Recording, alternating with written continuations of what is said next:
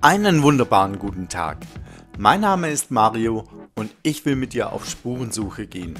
Mit 100 Fragen reißen wir einfach mal die mausgraue Oberfläche auf und schauen, was sich darunter verbirgt. Lust mitzukommen? Dann bleib dran. Und heute zur allerersten Sendung freue ich mich total, den Stefan Lange hier zu haben. Stefan ist Buchautor und betreibt die kontrovers diskutierte YouTube-Sendereihe Komm lieber tot, in der er schonungslos von seinem Leben erzählt, bis es im Suizidversuch endete.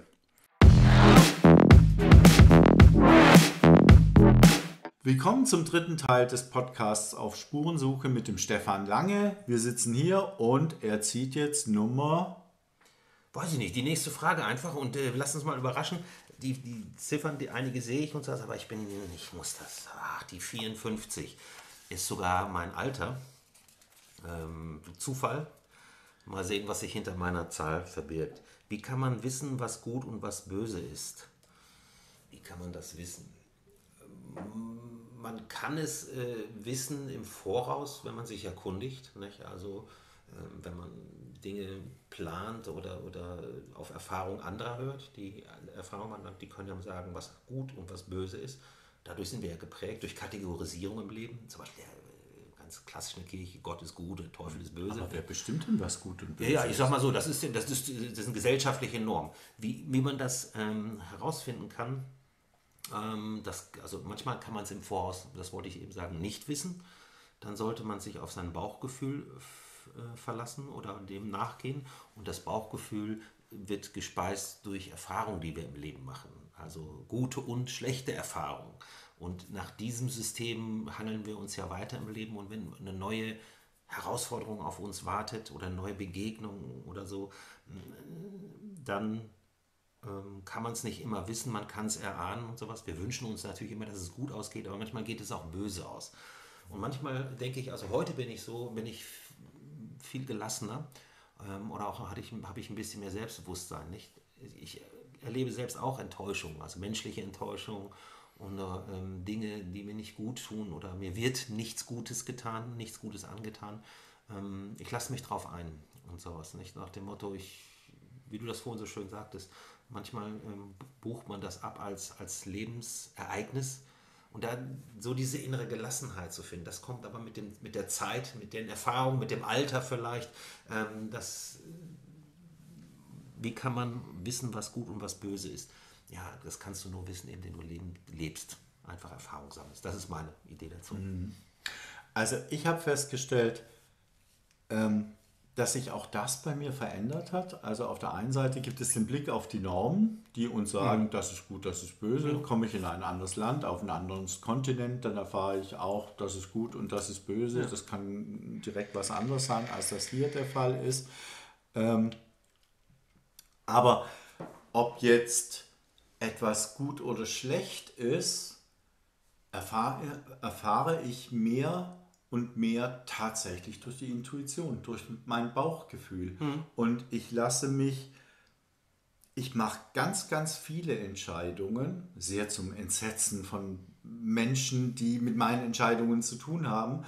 Aber manche Entscheidungen treffe ich nicht, nicht mehr auf Basis von Normen mhm. oder von Argumenten, sondern ich spüre einfach in mich hinein.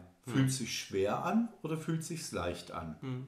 Und wenn es irgendwo nur ein ganz, ganz kleines Krummeln gibt, dann, ähm, dann frage ich mich, okay, kann ich dieses Krummeln beseitigen, wenn ich vielleicht irgendwie eine Kleinigkeit verändere an dem, was ich vorhabe oder, oder an dem äh, oder an der Situation, in die ich mich hineinbegeben will. Und wenn ich das nicht kann, dann lasse ich es einfach sein. Hm. Ganz egal, was andere sagen. Und wenn es sich so richtig leicht anfühlt und in mir schreit, oh ja, dann mache ich es einfach. Ja, aber und das ist ein sehr guter Gradmesser. Aber manchmal tue ich auch Dinge, von denen, von denen ich mein, äh, vielleicht im Vorhinein annehme, dass sie nicht gut sind oder dass sie schwierig werden. Also jetzt heißt es hier gut und böse, das sind jetzt die äußeren Enden der Skala. Aber ich habe schon Dinge getan, wo ich dachte so, oh, das, das kann nicht gut werden.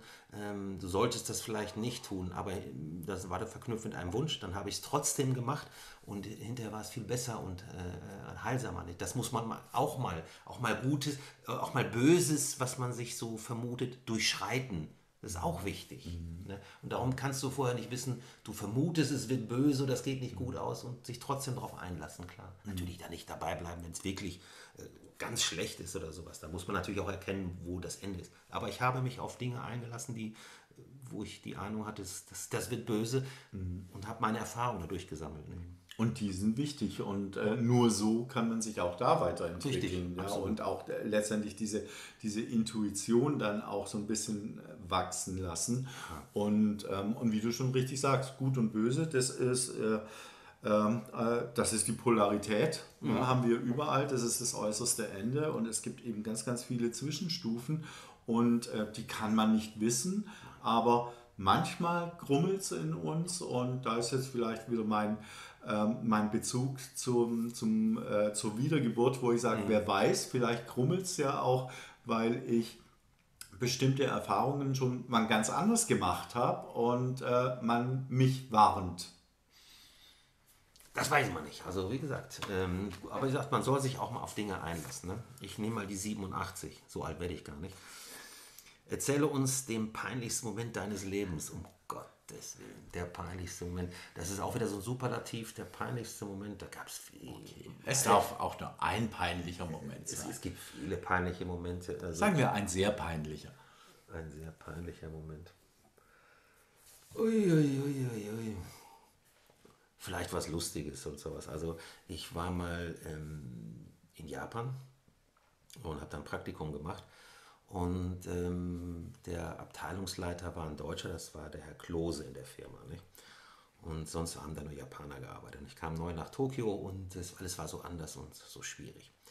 Und damals war ich, habe ich habe Betriebswirtschaft studiert und das Auslandspraktikum sollte mich natürlich befähigen für höhere Wein. Ich wollte in diesem Konzern vielleicht etwas werden. Und in der ersten Woche äh, habe ich mich mit anderen getroffen, die auch Praktikum gemacht haben und wir sind in einen Biergarten gegangen. Und in Japan ist es nun so, man kann nicht einfach in ein Restaurant gehen und sich zum Platz äh, einfach aussuchen und sich hinsetzen. Man muss überall anstehen wird aufgerufen. Und ich war mit den anderen zusammen ähm, dann ähm, am Eingang von einem Biergarten. Da wollten wir uns ein schönes Bierchen gönnen. Das sah eigentlich so aus wie so ein deutscher Biergarten, so mit Lamp Lampions und so. Und da wird man natürlich dann aufgerufen mit Namen. Und die Japaner, ähm, ja, die sagen natürlich dann ihre Namen, nicht? Und wir haben uns ganz lustige Namen ausgedacht, zum Beispiel wie Hodensack, äh, äh, Fotzenschwanz und was weiß ich was. Und äh, ja, dann haben wir gewartet und wir haben uns so beömmelt. Dann sagte der Japaner, äh, Sumimasen, Fotzenschwanzan, äh, Hodensack-san, Onigashimas äh, und sowas. Und wir wurden in den Biergarten geleitet und wurden an einen Tisch gesetzt. Tja, da saß dann unser Abteilungsleiter, der Herr Klose, äh, mit einer Delegation des Konzerns aus Deutschland. Und wir saßen genau daneben und ja, das war sehr, sehr peinlich, höchst peinlich. Und dann sagte dieser Boss da, der aus Deutschland, der war, glaube ich, im oberen Management, sagte, so, äh, Sie haben sehr interessante Namen, nicht? Und äh, wie, wie, war noch Ihr Name? Er hat noch nach Namen gefragt und sagte, äh, ich glaube nicht, dass Sie eine große Karriere in unserem Konzern vor uns haben. Oh. Das war sehr ernst. Das war natürlich nicht so ernst gemeint, aber er sagte ganz deutlich, äh, solche Dinge kannst du nicht bringen. Das war mir höchst peinlich. Okay. Das war mal vielleicht etwas Lustigeres. also, okay. Aber das ist ein Moment, an den ich mich heute noch erinnere, der höchst peinlich war. Das glaube ich, das glaube ich, das kann ich mir vorstellen. Wir wollen ja auch mal ein bisschen die humoristische Seite hier Genau. Ich habe auch einen ganz tollen, peinlichen Moment. Ja, der war wirklich, der treibt mir immer noch die Schamesröte ins Gesicht. Ich äh, kannte schon äh, längere Zeit einen sehr netten Kerl und mit dem, ähm, ja, und wir lagen halt irgendwann mal so im Bett, ja, und haben rumgealbert. Und dann sagte ich plötzlich, oh, weißt du, was ich übrigens kann? Also ich, ich kann meine Bauchmuskeln so bewegen, dass mein Bauch so Wellen macht. Das hat früher mein Opa hat da schon hat, hat mir Wellen, Meer auf dem Bauch gemalt, hat ein Schiff drauf gemalt und dann habe ich den Bauch wackeln lassen. Der hat es mit der Videokamera aufgenommen und das Schiff geht halt so hoch und runter. Und das habe ich ihm erzählt und er sagt, ah, was, ja, lass sehen. Und ja, kein Problem. Und äh, stelle mich so hin und fange fang das an. Und das stimuliert halt dann leider so die komplette Darmflora und ich habe das so zweimal gemacht und auf einmal macht es einen riesen Kracher und ich furz wie wild. ja, und das sozusagen in unserer zweiten Nacht. das war sehr, aber wir haben sehr viel gelacht. Er hat mich auch nicht verlassen. aber das war sehr peinlich. Auch durch diese Momente muss man durch. ich glaube, ich bin immer noch rot. ja, ich merke, also es, angenehm war ja das nicht, darüber zu sprechen. Wir kommen zurück zu ernsten Dingen. Was hast du heute schon gelernt? Hui, was habe ich heute schon gelernt? Was habe ich heute schon gelernt? Wir lernen ja jeden Tag und das ganze Leben lang. Was habe ich heute gelernt? Ja, heute habe ich wieder mal gelernt, dass ich ein sehr ungeduldiger Mensch bin. Ich hatte eine, nach Berlin musste ich anreisen, der Verkehr war recht dicht und auch zu Mario zu kommen war nicht einfach. Und äh, ja, ich, ich merke einfach, dass ich zu ungeduldig bin manchmal mit meinen Mitmenschen. Das habe ich mal wieder gelernt, dass ich eigentlich ein sehr ungeduldiger Mensch bin. Das habe ich heute wieder mal gelernt, dass ich, da muss ich mich wieder mal achten. Okay. Das habe ich gelernt, ja. Das bin ich auch. Ungeduldig, ohne Ende. Und es fällt mir wirklich schwer, egal ob mit meinen Studenten oder hier auch mit meinem Partner oder auch anderen Menschen, manchmal so die notwendige Geduld aufzubringen. Insbesondere dann, wenn ich denke, ist doch sonnenklar. Und ähm, dann wird es wirklich schwierig. Aber was hast du heute gelernt? Das würde mich mal interessieren. Ja, das überlege ich jetzt gerade mit Schrecken. Und ich glaube, ich habe echt nicht wirklich Vielleicht hast du auch nichts gelernt, das kann ja mal sein. Ahnung. Nee, ich glaube, ich habe heute ähm, nicht wirklich was ähm, gelernt. Doch, ich habe äh, ein Schreiben mit einem Verwarnungsgeld bekommen und äh, die Tat liegt ein Jahr lang zurück und was? ich dachte eigentlich, okay, das ist gegessen. Und, ähm, Wo liegt die Leiche, sag's uns. und äh, ja, nein, ich musste lernen, dass die äh, Behörden äh, nichts vergessen und äh, dass sie einfach nur sau langsam sind. Und ähm, ja, ich habe auch mittlerweile bezahlt. Ja, das ist gut.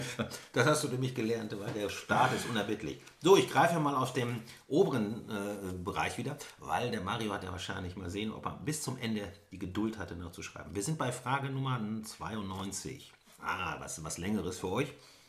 Wenn du in fünf Minuten sterben würdest, ohne noch mit jemandem gesprochen zu haben, was würdest du bereuen, nicht getan zu haben? Sehr geile Frage. Was würde ich bereuen, nicht getan zu haben?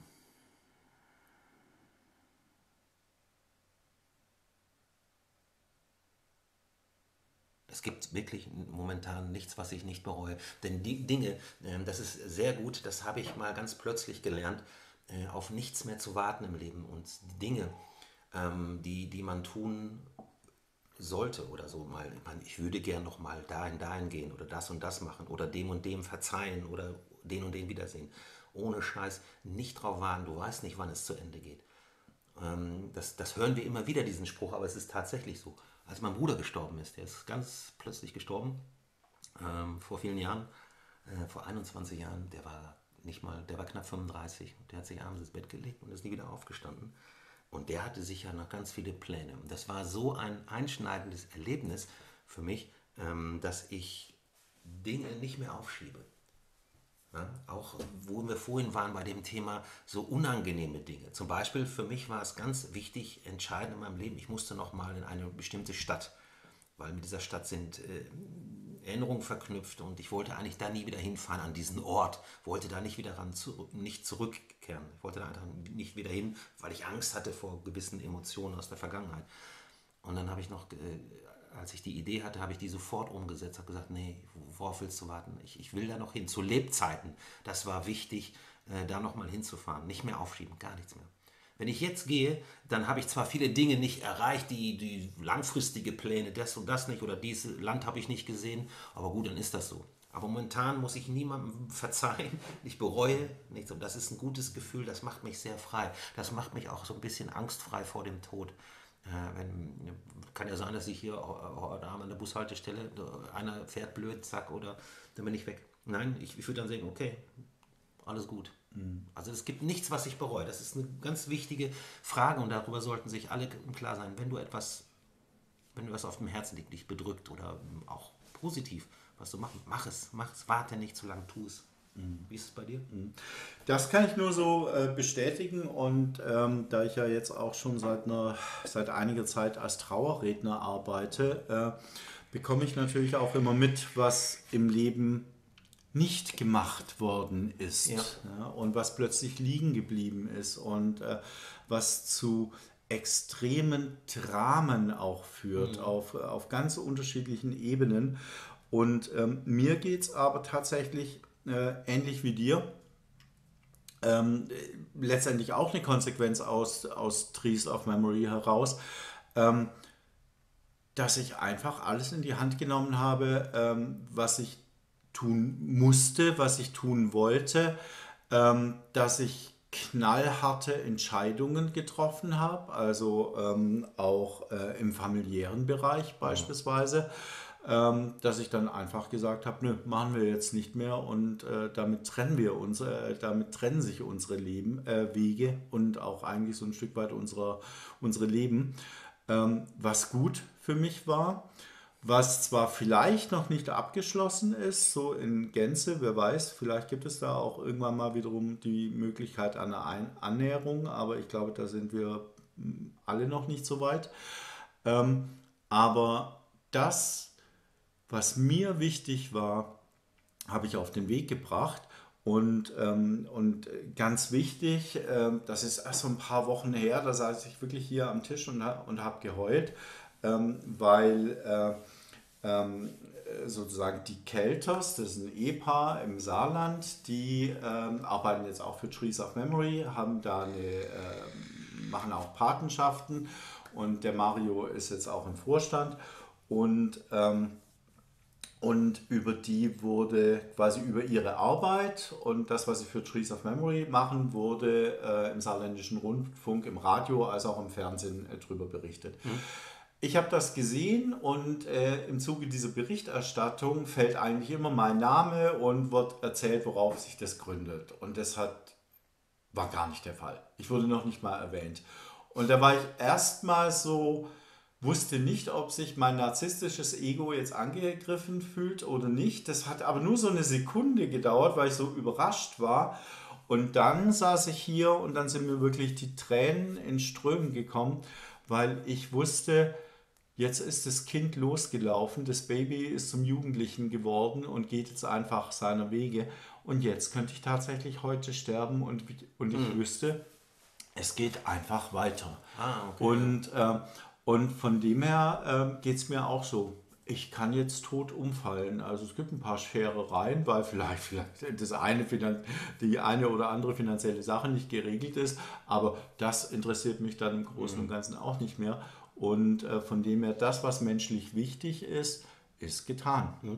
Weil du sagst ja nicht gesagt oder getan zu haben. Es gibt zum Beispiel eine Person, ähm, mit der bin ich nicht im Frieden auseinandergegangen und das war eigentlich immer mein Wunsch, ähm, mit dieser Person ins Reine zu kommen, nach Jahren vielleicht das mal zu klären. Das war nie möglich und das hat mich verfolgt wie so ein dunkler Schatten. Das war eine schwere Last.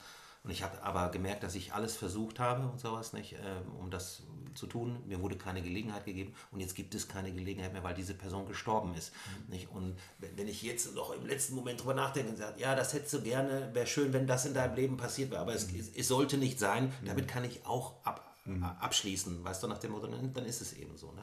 Aber momentan ist bei mir nichts offen und das gibt mir ein gutes Gefühl. Ready to die. Gut, nächste Frage. Noch die Nummer 12. Bevor du stirbst. Auf jeden Fall. Welche unerfüllten Sehnsüchte trägst du mit dir rum? Ja, ungefüllte Sehnsüchte. Uiuiuiui. Ja, dann, dann, könnte man jetzt, müsste man vielleicht mal wieder kategorisieren, sind es materielle Dinge ähm, oder sind es immaterielle Dinge? Welche Sehnsüchte trage ich in mir rum? Puh, viele, also zum Beispiel, ne, ich möchte nochmal nach, ich, eine Sehnsucht von mir war immer, ich möchte einmal zum Nordkap. Ne, also mit dem Auto. Ich wollte immer mal zum Nordkap fahren. Und die Sehnsucht äh, erfülle ich mir nächstes Jahr. Ne? Also wenn ich dann jetzt morgen sterben würde, würde ich sagen, oh schade, hast du das nicht geschafft.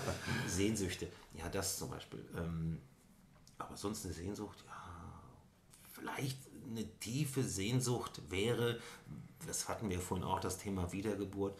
Ach, es, es wäre die Sehnsucht nach diesem, nach dieser väterlichen Anerkanntsein, was ich nie hatte. Das ist immer so eine ungestillte Sehnsucht, die wird auch immer ungestillt sein. Nicht? Natürlich, man sucht sich seine Familie. Meine Familie war ja nicht so das Pralle. Ich habe heute eine Ersatzfamilie, Ersatzmutti, Ersatzpapi, so Schwiegervater in Spee. Nicht? Man kann sich die Dinge auch suchen und auch ganz gut für sich regeln, ne? wenn man rausgefunden hat, was man will. Aber eine Sehnsucht ist eben so, ja, da, diese Sehnsucht wird vielleicht nie gestillt werden. Nicht? Also das kannst du ja von dir selbst herausnehmen. So dieses, diese, diese Väter, das väterliche Anerkanntsein. Nicht? Also diese Sehnsucht bleibt immer ungestillt. Aber damit kann ich leben, ist okay. Mhm. Das ist so. Es gibt Sehnsüchte auf emotionaler Ebene. Ne? Ähm, auf, auf, materieller Ebene muss ich mal gucken, wie weit reicht dein Geldbeutel oder was mhm. nicht und sowas. Man kann sich immer ein dickes Haus wünschen, ein dickes Auto. Interessiert mich eigentlich gar nicht so sehr. Ähm, aber auf der emotionalen Ebene gibt es Sehnsüchte, von denen ich weiß, dass die sich nicht erfüllen lassen. Mhm. Ist okay. Mhm. Also habe ich auch ungefähr ähm, gerade äh, mit dem Vater, ähm, der Stiefvater auch schon lange tot, also da auch keinerlei Au Aussöhnung mehr. Und mein richtiger Vater ist ja leider auch ein Jahr nachdem ich ihn kennengelernt hatte, damals mit 14, ähm, an einem Autounfall äh, ja, äh, tödlich verstorben. Tödlich verstorben, was rede ich denn? Ja, also verstorben. Mhm. Und ähm, ähm, und Hättest diese, du ihn gern besser kennengelernt? Ja, natürlich. Also weil wir sehr ähnlich waren. Und äh, früher sagte man mir immer, naja, ich hätte alles von meiner Mutter, was schlicht und ergreifend eine infame Lüge war. Ich habe gar nichts von ihr, sondern ich bin wirklich das, äh, das äh, sowohl körperlich als auch mentale, hundertprozentige Abbild äh, von, von meinem Vater. Und ähm, da hätte ich schon ganz gerne viel mehr Zeit mit ihm verbracht. Mhm. Und wenn man als 14-Jähriger äh, seinen Vater äh, auch mit gewissen sprachlichen Barrieren dann, dann kennenlernt, ähm, da ist man halt auch extrem schüchtern und, und ich hatte ja auch extrem Angst, weil, äh, weil ich wollte ja quasi, ich war froh, als man mir sagte, dass mein Stiefvater nicht mein richtiger Vater ist. Das mhm. war der schönste Moment also in meinem glaub, Leben. Glaub ich, ja. und, ähm, und als ich ihn dann endlich getroffen habe und gesehen habe, hey, der ist wie ich, äh, ähm, dann war das natürlich eine ganz große Nummer. Und, ähm, aber wieso jetzt äh, sprachliche Probleme? Äh, weil er Italiener und war. du äh, sprichst und, nicht so gut Italienisch? Äh, und ich äh, ganz miserabel Italienisch spreche und damals, machen, und damals gar nicht. Da ähm, machen wir es doch so, Mario. Ich spreche fließend Italienisch ähm, und dann, wenn wir beide wiedergeboren werden, dann treffen wir uns nochmal und dann besuchen wir deinen Vater. Und ich bin dein Übersetzer. oh ja, gute Idee. Sehr schön. Es wird künftig jeden Donnerstag und jeden Dienstag eine Folge geben. Also bleibt dran und ja, wir sehen uns oder wir hören uns viel besser in ein paar Tagen wieder. Und tschüss.